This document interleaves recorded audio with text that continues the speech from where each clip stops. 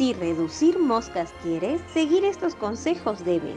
Se ha encontrado un enemigo para la exportación de frutales. Es una plaga cuarentenaria pequeña pero perjudicial. Una mosca que desarrolla dentro de la fruta su estado larval. Los campos están haciendo sus mayores esfuerzos para su prevención y control. Sin embargo, campaña a campaña sigue apareciendo. No bajemos la guardia. Juntos en el control de la mosca de la fruta. Buenos días señores, como es habitual, en el cumplimiento de la cuarentena interna revisaremos que no estén ingresando con fruta al fondo. Perfecto, cuarentena interna, check.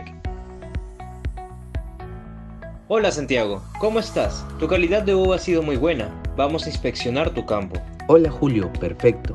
Estamos con Mariana. Ahora tenemos una reunión de campo para revisar las actividades de post cosecha. Hola Julio, hoy tenemos supervisión de la autogestión del control de moscas de la fruta. Te estábamos esperando. Julio, así es, estamos listos.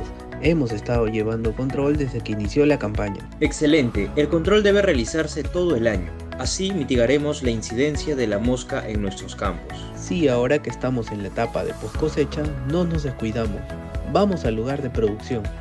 Bien Santiago, como es habitual, en las supervisiones evaluaremos los siguientes 10 parámetros de nuestra lista de verificación y el cumplimiento de tu plan de trabajo. Parámetros a evaluar en supervisiones. 1. Instalación de las trampas de sensibilización. 2. Mantenimiento de las trampas de sensibilización. 3. Presencia de cartilla de evaluación. 4. Lectura de trampas de sensibilización. 5. Registro de fecha de evaluación. 6. Eliminación de malezas. 7. Aplicación de cebos tóxicos. 8. Eliminación de remanentes estacionales y retoños. 9. Recojo de frutos en el suelo. 10. Entierro de frutos.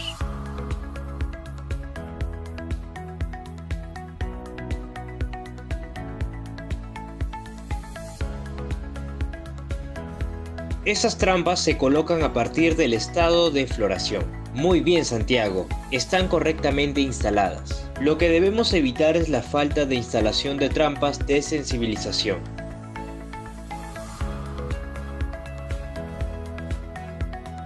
Es una medida para todos los productores hortofrutícolas, con el asesoramiento y supervisión del SENASA.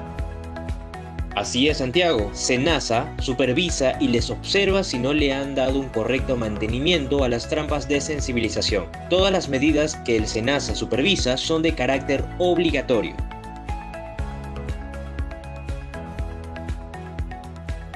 La cartilla de evaluación debe indicar las fechas de revisión de la trampa con feromona para la mosca de la fruta. La ausencia de esta cartilla es un incumplimiento al plan de control. Estamos evaluando semanalmente y tomando nota de las fechas.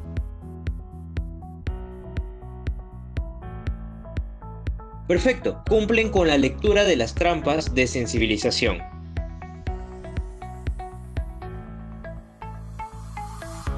Aparte de hacer mantenimiento a la trampa, también agregamos la fecha de evaluación.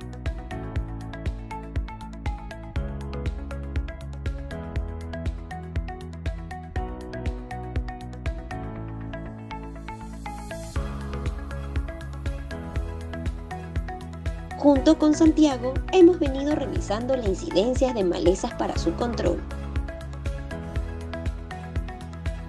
Santiago, según tu plan de trabajo, tienes programado el día de hoy la aplicación de cebo tóxico. Sí, justo están terminando de aplicar con mochila dirigido al follaje. Muy bien, check.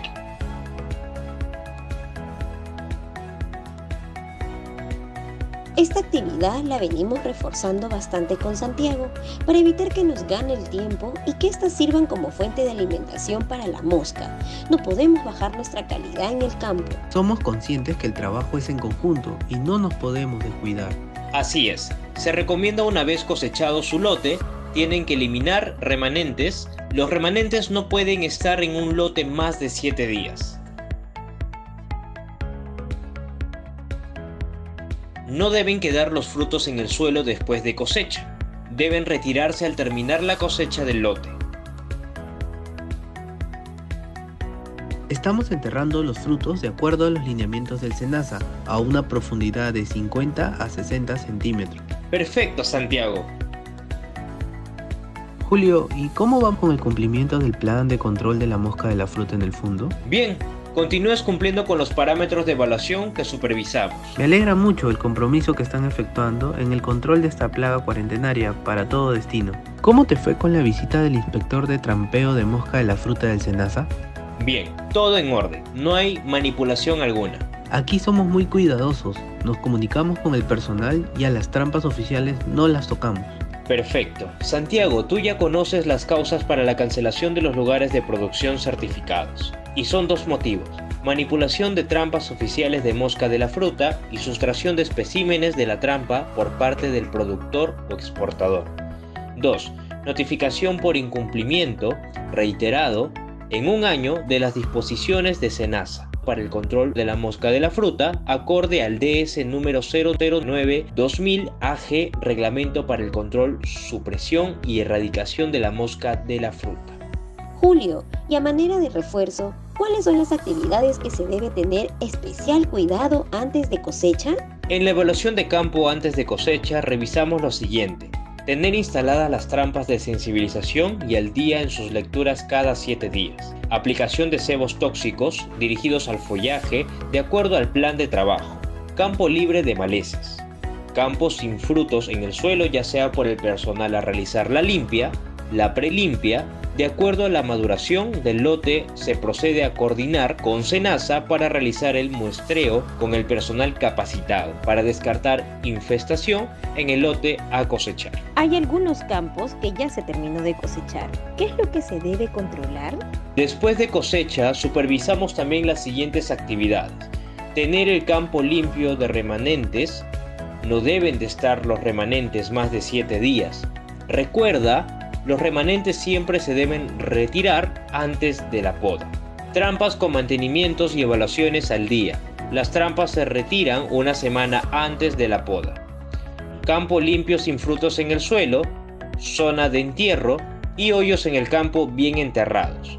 La fruta debe estar debajo de 50 a 60 centímetros bajo tierra de acuerdo a los lineamientos de Senasa. Una vez el campo limpio de remanentes, aparecen los racimos atrasados, racimos verdes. Se puede eliminar directamente al suelo en caso de retoños, ya sean pintos, maduros y sobremaduros, se procede a enterrarlos según lineamientos SENAS. Gracias Julio, así lo haré. Control de la mosca de la fruta es constante y se realiza durante todas las etapas fenológicas del cultivo. Juntos controlamos la mosca de la fruta.